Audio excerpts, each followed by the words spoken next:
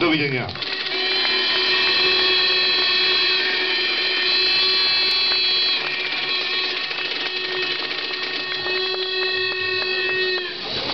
Teraz by som chcel poprosiť o vyjadrenie dvoch ľudí, ktorí si zaslúžia naše e, uznanie za veľký kus práce, ktorý už doteraz vykonali v tomto neľahkom zápase. Poprosil by som Romana Podradského za občianske združenie Podpolanie, nad, Podpolanie nad Zlato, ktoré včera zaznamenalo by,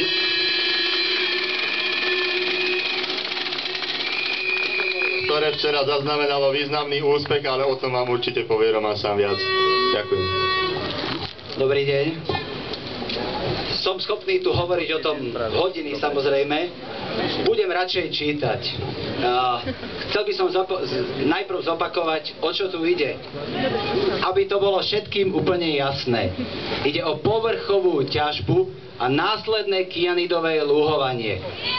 Dávam si záležať na formulácii, aby nás táto firmička, ktorá tuto sídli, neslovíčkárila a nebola príliš múdra. Znamená to šialený kráter, šialenú skládku nebezpečného odpadu, 30 miliónov tón kianidmi prepláchnutej horniny.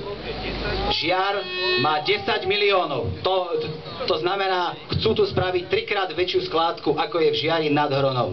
Takisto nebezpečný.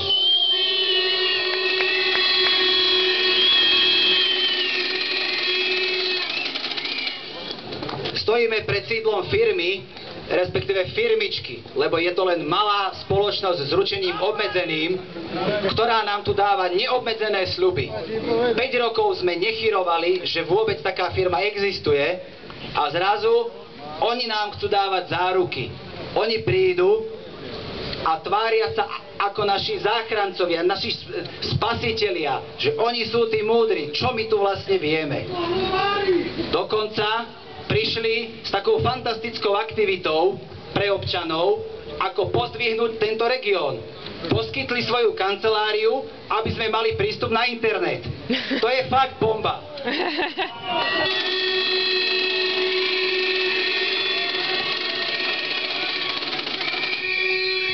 Samozrejme, že dávno ten prístup máme, našťastie slobodný a presne vieme, čo sa tu pečie. Akokoľvek sa snažia, neprejde im to a ani sami tomu neveria. Uh, vážená firmička Emet, nepotrebujeme vaše múdre rady, služby, pomoc a váš tzv. rozvoj regiónu. Nepotrebujeme vašich pár pracovných miest. Nepotrebujeme vašich pár zlatiek na, na zalepenie očí. V žiadnom prípade nie za takúto cenu. Tou cenou je naše životné prostredie, naše domovy, naša príroda, naše podpolanie a naše deti.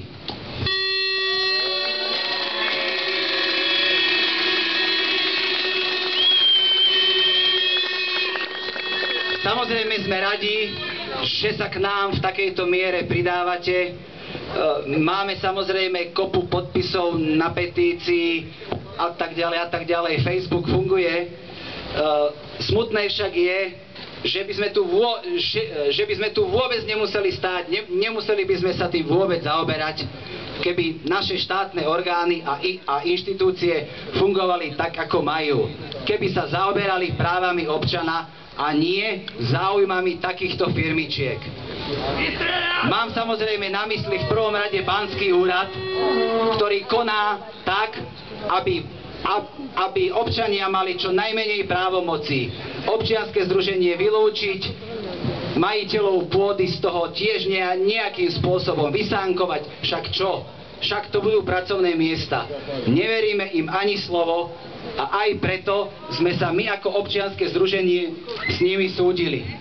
Včera sme mali pojednávanie na krajskom súde a napriek tomu, že riaditeľ hlavného banského úradu, pán Kukelčík, bojoval ako lev za to, aby sme zostali vylúčení z tohto procesu, krajský súd nám dal za pravdu a sme naspäť v hre.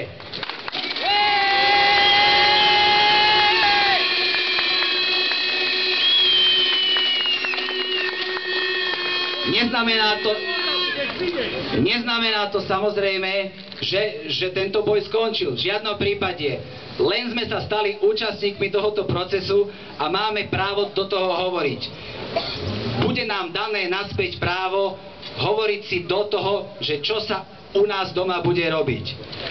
Rozsudok Krajského súdu je jasným dôkazom, že občania Slovenskej republiky sú chránení legislatívou Slovenskej republiky a Európskej únie a medzinárodnými dohovormi.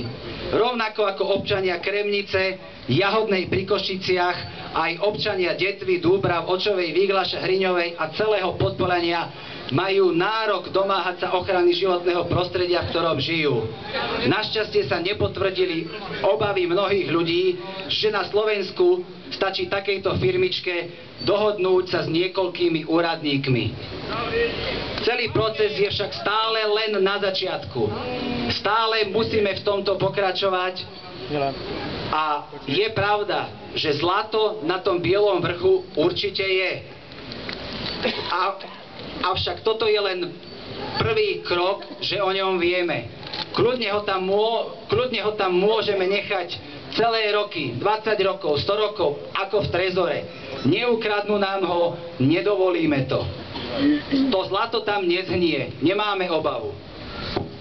Dnes už som presvedčený, že má zmysel hlásiť sa k svojim základným občianským právam a jedno z nich je práve toto, určovať, a akým spôsobom naložíme s našim vlastným územím. Použijem to, čo som tu počul v, to, v tomto sprievode. My sme tu doma.